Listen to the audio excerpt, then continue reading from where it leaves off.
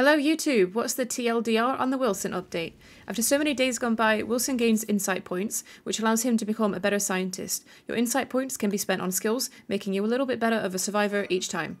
You can choose to spend your insight points how you want.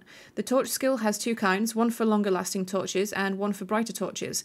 Get all three and you can unlock the additional bonus skill, the ability to throw a torch, which is useful for things such as chopping and mining in the night.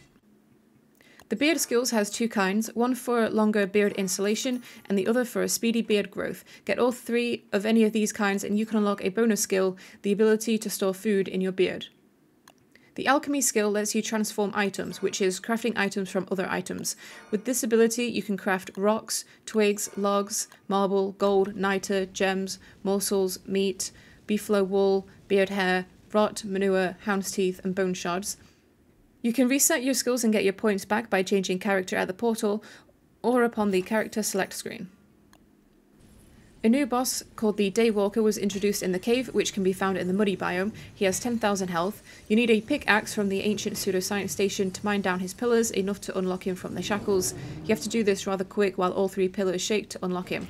When he dies, he drops a new item, Pure Horror, as well as two new blueprints which allow you to craft two items, the Dreadstone helmet and the Dreadstone armor.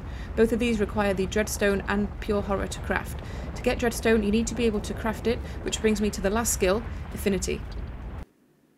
To have the Affinity skill, you need at least 12 skills already and have killed the Ancient Fuel Weaver.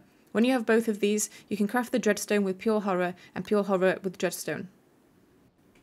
There's a new turf called the Beard Hair Rug, which can be crafted at an alchemy engine for two beard hair and two grass. Wilson's beard can now be shaved in stages instead of all at once. Use a razor like usual and shave as much as you want. There's no skins you can purchase with spools in the login menu.